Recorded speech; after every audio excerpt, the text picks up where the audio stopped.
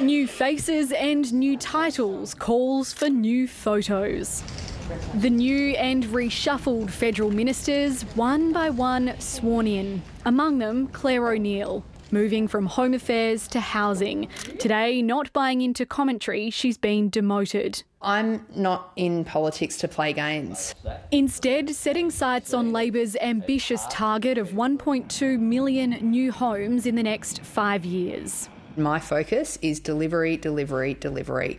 I recognise that there are literally millions of people who are struggling to pay their rent, who are dealing with rent increases, and a whole generation of young people who think they're never going to be able to crack into the housing market. Her new role will also see her go head to head with the Greens. A new salesperson selling the same policies, the same failed policies that the previous housing minister tried to sell, is not going to help anyone. They have successfully uh, penetrated the electorate with their narrative, and that is a narrative around uh, governments needing to do something quite drastic in addressing uh, the housing affordability crisis. The Greens want limits on negative gearing and capital gains concessions, but Anthony Albanese is steering clear of any commitment. What I don't do is get distracted uh, by nonsense rule in, rule out games. As the Prime Minister changes his front bench, she's calling on Peter Dutton to do the same after an inflammatory speech by Barnaby Joyce at a weekend rally. And the bullet you have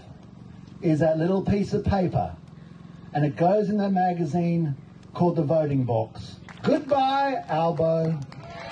Smartest call here would be just to say, apologise for using that metaphor. Here we go. Here we go. I apologise for using that metaphor. The Prime Minister calling it a new low, particularly after the attempt in the US on Donald Trump's life. Evelyn Manfield, ABC News, Canberra.